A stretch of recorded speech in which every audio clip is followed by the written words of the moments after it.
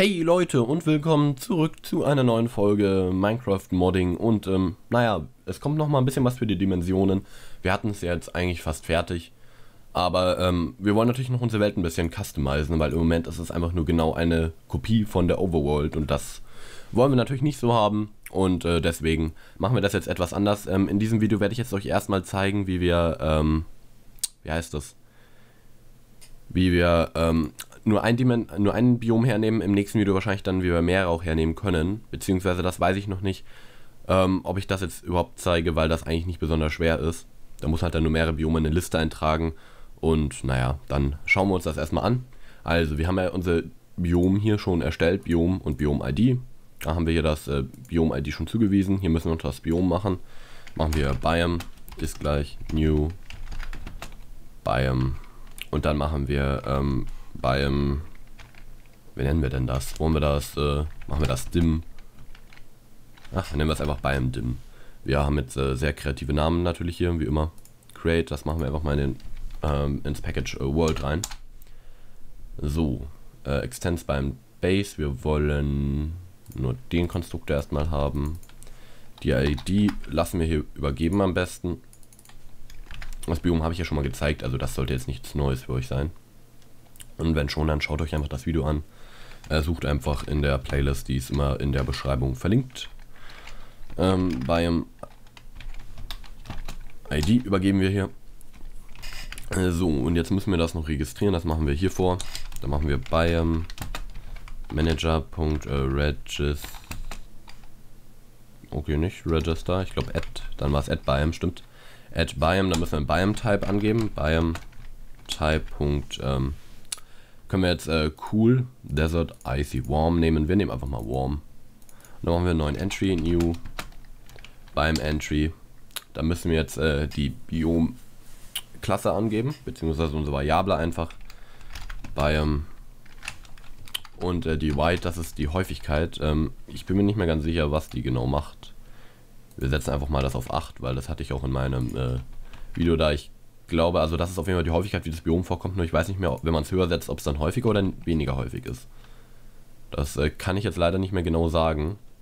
Mal schauen, wo wir hinkommen. Naja, wird Item White. Das ist irgendwas hier whited random. Ich weiß es echt nicht. Also ich setze es jetzt einfach mal auf 8. Ihr könnt es ja mal testen, wann es häufiger und wann es weniger häufig vorkommt. Beziehungsweise wenn wir nur ein Biom äh, vorhernehmen, dann äh, ist das eh scheißegal. Und mir fällt gerade auf, warum machen wir das überhaupt? Warum registrieren wir ein Biom, was wir gar nicht haben wollen, obwohl ich voll Idiot. Ja gut, ähm, man kann natürlich auch dumm sein, weil wir müssen das ja gar nicht hier registrieren, weil wir wollen das ja nicht in der Overworld haben, sondern in unserer eigenen Dimension. Deshalb äh, vergesst das, was ich gerade gesagt habe. Ich werde es wahrscheinlich eh rauscutten und wenn nicht, dann eben nicht. Dann seht ihr, wie ich blöd fehle. Aber egal. So, machen wir weiter. Ähm, dann können wir hier im Biom ein bisschen was verändern. Ähm, was wollen wir denn hier so verändern? Machen wir hier, ja, Dis-Punkt. Was wollen wir denn hier so machen? Also, erstmal den Biome-Namen setzen. Ist gleich, beziehungsweise gibt es eine Methode? Wahrscheinlich schon. Ja, gibt das natürlich. Wir müssen ja nicht die Biome umsetzen, nehmen wir einfach die Methode. Wie wollen wir das Biom denn nennen? Nennen wir das einfach mal Tut. Ah, Tut das dumm. Dimen Dimension Biome. So, was wollen wir denn da noch dran ändern? Ich würde sagen, wir ändern äh, get ähm, Sky Color by Temp machen wir. Wir wollen nämlich ein anderes Sky Color haben. Das könnten wir theoretisch auch in. Obwohl, nee, lassen wir das erstmal. Das können wir nämlich theoretisch noch in, ähm, in unserer Dimension ändern. Ähm, was machen wir denn noch? Machen wir dis.set Filler Block Metadata? Nee. oh Mann, ich weiß nicht mehr, wie die ganzen Teile hießen. Ich glaube Filler Block einfach. Weil hier kann man nur die Metadaten setzen. Ich möchte Filler Block ist gleich äh, Blocks dot. Was nehmen wir denn hier? Nehmen wir mal einfach hier Obsidian. Und dann nehmen wir als Top-Block nämlich unseren schönen blauen Obsidian. Ach, das ist ein neuer Block-State. Get Default State natürlich dann. Dis. Ähm, Top-Block. Ich hoffe, das funktioniert, weil früher ging das nämlich immer nicht, dass man im Biom eigene Blöcke hernehmen konnte. Auf jeden Fall nicht so mit diesem Top- und Filler-Block. Ich hoffe immer mal, dass das geht. Wir werden es ja mal dann testen. So, ähm, dem Main. Oh Gott, ich bin so durcheinander ein bisschen mit Forge, weil, na, verrate ich noch nichts dazu, aber ich bin gerade äh, etwas an was anderem programmieren und deshalb kommt man da relativ schnell raus, wenn man Forge länger mal nicht macht. Aber ich verrate jetzt euch dazu nicht besonders viel. Ähm, das war Stone oder ja. Ich stelle mir gerade so vor, alles voller Portale setzen, werden vielleicht ein bisschen unpraktisch. Stimmt, das war auch noch Get äh, Default State natürlich. So, ähm, das Biom könnt ihr natürlich dann customizen, wie ihr wollt. Ich stelle es da nicht mehr viel ein. Einfach, äh, weil das für mich jetzt nicht so nötig ist. Ihr könnt es natürlich gerne einstellen, wie ihr wollt. Ich lasse das jetzt einfach mal so. Und äh, ja, jetzt ähm, kommt das auf den dem World Provider an. weil hier können wir alle Sachen umsetzen. Wir können uns jetzt mal hier den World Help Provider hernehmen, weil da ist auch noch ein Biom drinnen und dann müssen wir das nämlich nicht alles neu schreiben. Können wir mal hier reingehen? Ah, okay. Äh, das mag äh, Eclipse nicht so. Wir kopieren das hier rein oder schreiben das, drücken Steuerung, klicken dann drauf. Wenn es bei euch nicht geht, dann müsst ihr halt die Klasse so suchen oder es halt selber schreiben. Und äh, hier machen wir das nämlich hier. Wir müssen auch keinen eigenen äh, World Chunk Manager schreiben. Beziehungsweise vielleicht wäre das sogar praktisch. Ich weiß nämlich gerade nicht ganz, was die hier. Das, nee, müssen wir gar nicht. Sehr gut. Ähm, das ist relativ praktisch, weil da müssen wir nicht alles neu schreiben. Wir gehen jetzt, äh, machen hier uns die Methode, ähm, also hier hin. Register World Chunk Manager. Und äh, wenn wir hier in diese Welt gehen, wird hier nämlich ein, ähm, wird der sich hier geholt. Okay, ne, das äh, brauchen wir nicht. Wir müssen den ein bisschen eigen schreiben. Also, machen wir die erstmal Public. So, können wir jetzt hier reinschauen. Ähm, da wird der World Chunk Manager auf einen neuen World Chunk Manager Hell gesetzt. Es gibt nämlich auch den World Chunk Manager ähm, ähm, Overworld oder ähm, ja, Overworld wahrscheinlich ähm, Biome Gen Base und dann können wir uns hier unser Biom raussuchen. Was wollen wir denn für ein Biom haben? Wir wollen unser eigenes Biom haben, dann holen wir uns den Main. Okay, drücke halt mal Doppeltaste. Äh, Punkt Biome und dann äh, müssen wir hier, was müssen wir da übergeben? Float, äh, den Rainfall, ob es regnen soll oder nicht. Äh, das setzen wir mal auf 0. So wie wir es hier haben. Und äh, wir können jetzt hier auch mal nachschauen. World Chunk Manager, da gibt es nämlich hier auch noch einen, so einen. Und das ist nämlich der für alle anderen Biome. Hier äh, kann man nämlich da mehrere Biome angeben. Hier kann man dann nämlich, ähm, beziehungsweise nicht hier, äh, nee, da müsste man sich dann einen eigenen schreiben. Weil man hier, glaube ich, nicht äh, die Biome angeben kann. Ja, da müsste man sich, glaube ich, wirklich einen eigenen schreiben. Wenn man mehrere Biome drin haben. Beziehungsweise Get Biomes for Generation, nee, braucht man doch nicht, anscheinend. Das äh, muss ich mal genau nachschauen, das habe ich nämlich noch nicht ausprobiert. Also, wenn ihr das wollt, dann äh, ja, schreibt es mir gerne in die Kommentare oder so. Äh, Hellworld natürlich nicht. Has No Sky wollen wir auch nicht haben. Dimension ID können wir nochmal setzen, ist aber eigentlich schon gesetzt. Also machen wir hier noch this. Äh, Dimension ID ist gleich ähm, dem Main. Dimension ID. So, was wollen wir noch machen? Wir können jetzt hier mal so durchgehen. Wir können den Fork Color ändern. Wir können hier Fork hinzufügen. Das machen wir auch einfach mal, um es euch zu zeigen. So. Hier müssten wir einen neuen Vektor übergeben der ähm, hier den, die Color beschreibt. Wir lassen das jetzt einfach mal so wie im Nether, beziehungsweise wir ändern mal ein bisschen was um. Also einfach mal auf 0, hier auf 5.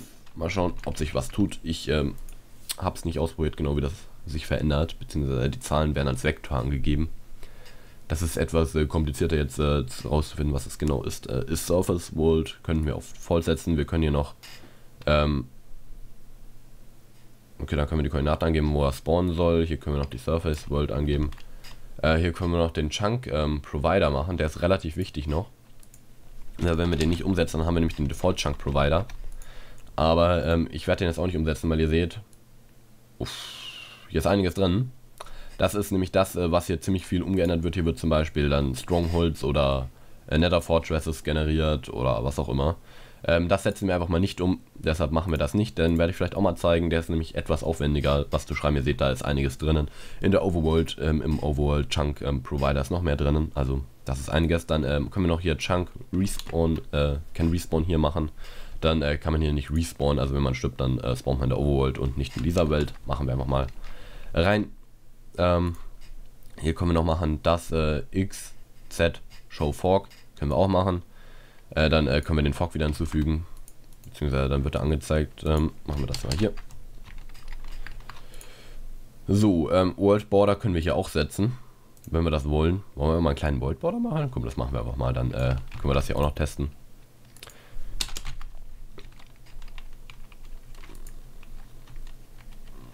Hm. Ach, nee, das macht er, glaube ich, ähm, durch 8. Naja, das macht was anderes, glaube ich. Egal, lassen wir es einfach mal weg. Ich bin mir nicht ganz sicher, was das macht. Es sind nämlich einige Sachen neu hinzugekommen, die ich noch gar nicht kannte.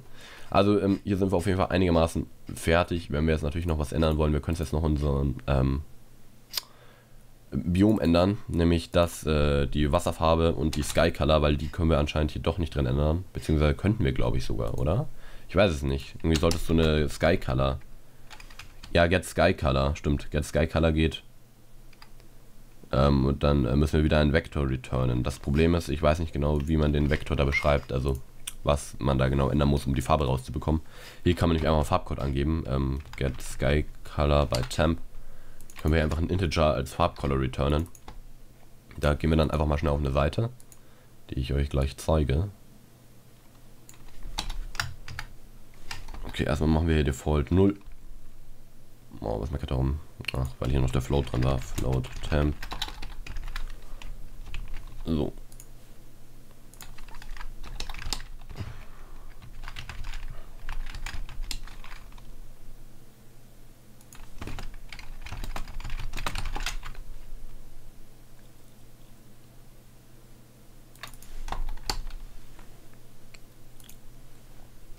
So, ähm, ich habe mir jetzt hier mal einen rausgesucht, RGB Int und RGB Hex. So einen kleinen Converter. Hier ist der Link, ähm, werde ich wahrscheinlich auch in die Beschreibung packen, wenn ich es nicht vergesse. Okay, ich vergesse es eh immer, also ja, weiß ich nicht. Wir machen jetzt einfach mal, was wollen wir denn? Wollen wir, machen wir erstmal einen roten Himmel, oder? Wollen wir einen roten Himmel haben? Ja, machen wir, oder? Also machen wir rot relativ hoch, machen wir das einmal auf 200. Green machen wir eher wenig, so vielleicht 10. Und Blue machen wir, ja, lila ist auch ganz cool, machen wir es auf 50. Dann äh, Evaluate und dann bekommen wir den Integer raus. Den kopieren wir uns jetzt einfach und äh, tragen den hier ein. Wir können hier theoretisch auch einen Hexcode angeben. Okay. Kopiere ich den mir halt einfach mal nicht. Kopieren. Einfügen. So, so ist das natürlich schön. Und dann gibt es ja auch noch äh, Get Watercolor. Get Watercolor Multiplier. Da können wir jetzt natürlich das Wasser noch einfärben. Das machen wir jetzt einfach mal genauso wie hier. Weil wenn wir hier reingehen in diese Methode, dann holt sich der nämlich das hier von ja, nee, der holt sich das dann von irgendwelchen anderen äh, Sachen. Äh, okay, na gut. Alter, wo, woher holt sich der das alles? Okay. Ja, ich möchte gar nicht wissen, woher. Ähm, der wird irgendwo anscheinend festgelegt oder, äh, ja, der wird wahrscheinlich vom Biom immer berechnet, neu. So, machen wir hier Return das.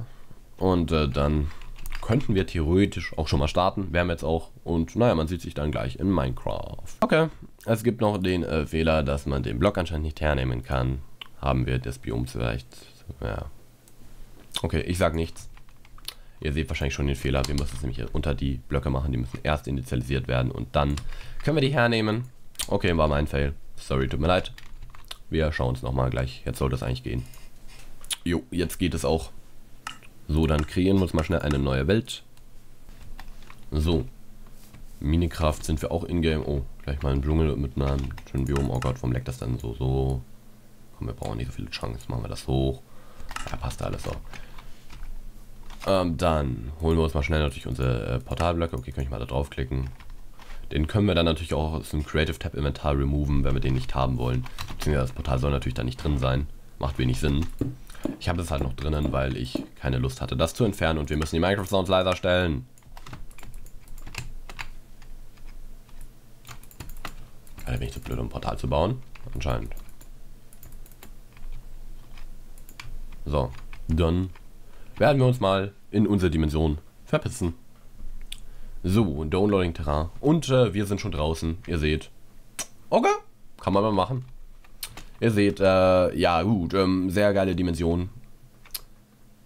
Natürlich ist hier drunter jetzt noch Stein und das wird wie eine Overworld generiert, weil wir den Chunk Provider nicht umgeändert haben. Wenn wir den umändern würden, dann sähe das natürlich anders aus. Hier spawnen natürlich auch noch Chicken und so, das haben wir nicht ausgemacht und so. Aber ihr seht, oh shit, also wir haben den äh, Fork ein bisschen zu äh, viel eingestellt. Ähm, den kann man auch hier gar nicht ausstellen, das geht nämlich nur mit Optifine. Ja, gut, ähm, jetzt bräuchten wir noch Water mal schnell. Water Bucket. Gott, hier gehen meine ganzen Hotkeys nicht. Okay.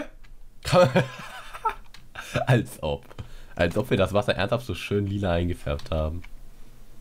Ja gut, also ihr seht schon, sieht relativ äh, gut aus. Ihr seht, der Fork ist auch extrem styler.